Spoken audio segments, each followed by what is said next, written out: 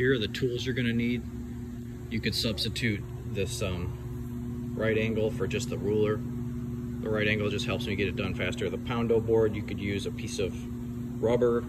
You could use a piece of wood for using your quarter inch uh, punch or a drill. If you drill through the plastic, make sure you use a, uh, you put it on top of a piece of wood and drill into the wood. It'll make it a lot easier.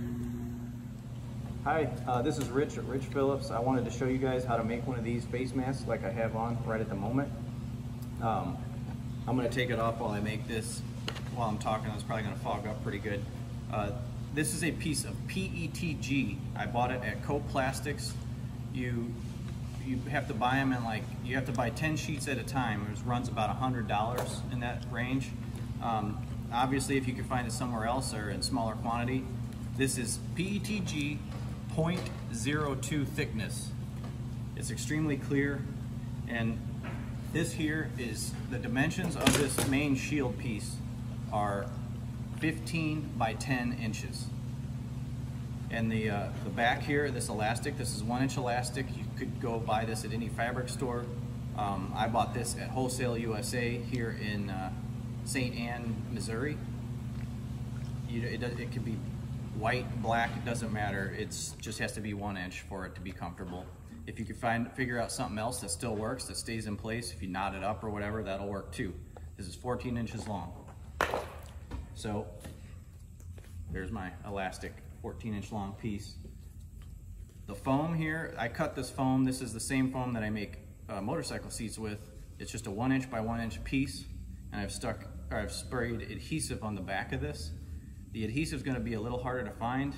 Uh, I think you can buy some types of weather stripping at Home Depot and Lowe's, which are still open at the moment. That's one inch by one inch. You just pull off the, the um, protective back for the adhesive and you know go from there. So I'm just gonna mark this out here on the PETG. Or I made that one. That one's homemade there. Nothing, nothing special. Super simple, super lightweight, and super easy to make. But that this barrier between, you know, someone possibly with coronavirus and or any other virus for that matter, this barrier and an N95 mask, you're a whole lot more protected than just with the N95 mask alone as I'm speaking, I have a locksmith that's working on all these businesses that are closed down at the moment, and he's coming by and I'm giving him one. You know, this would be great if you want a project to do while you're sitting at home and uh, you want to help out some healthcare workers.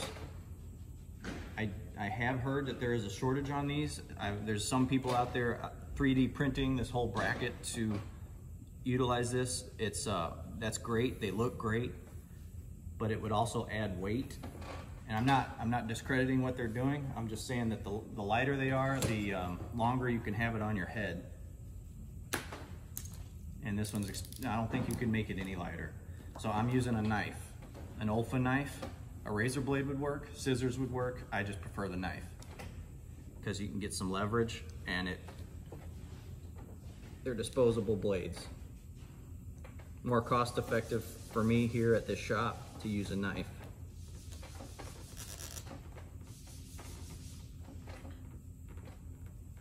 You can also substitute a thicker PETG. You could use 0.05. I just happen to be able to get my hands on 0.02 thickness.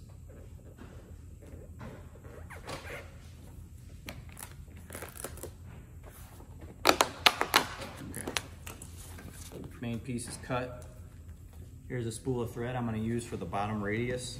Something bigger would not be a bad idea. I'm just gonna mark this out with the Sharpie.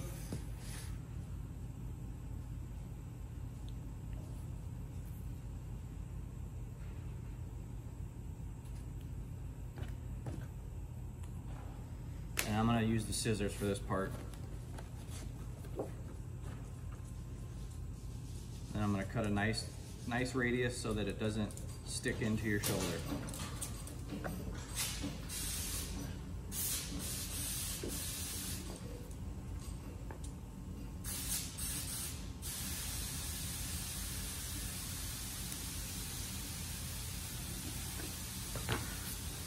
Okay, that's all cut there.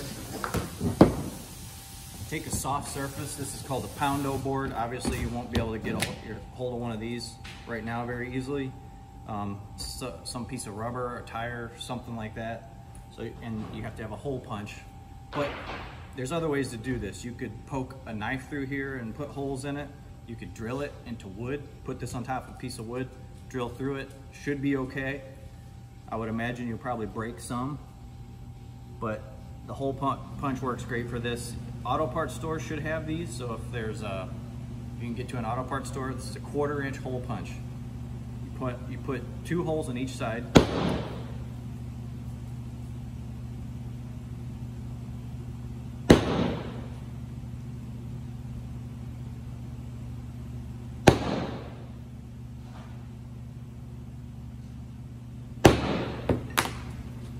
I didn't even measure them, I just stuck them, got it done. Take your elastic, actually, I'm sorry, cut these little sharp corners off.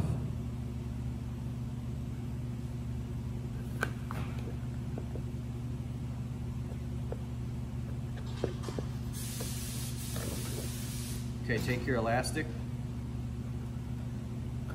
I'm sorry, I'm getting ahead of myself. Pull off the uh, plastic.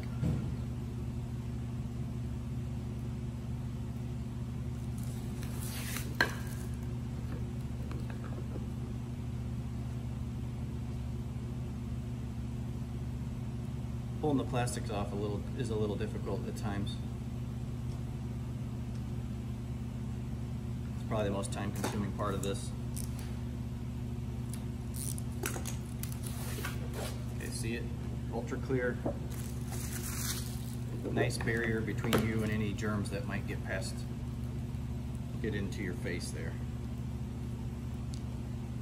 So, take my 12 inch piece of foam, line it up there real nice and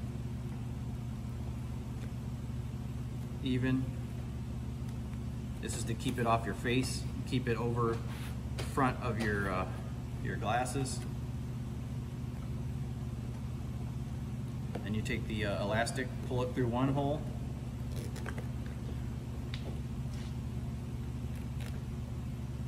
and then the other hole. This makes it adjustable somewhat.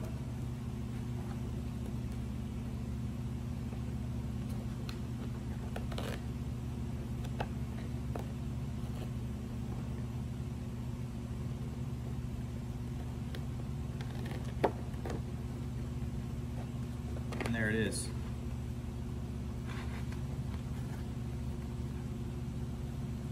That's all there is to it.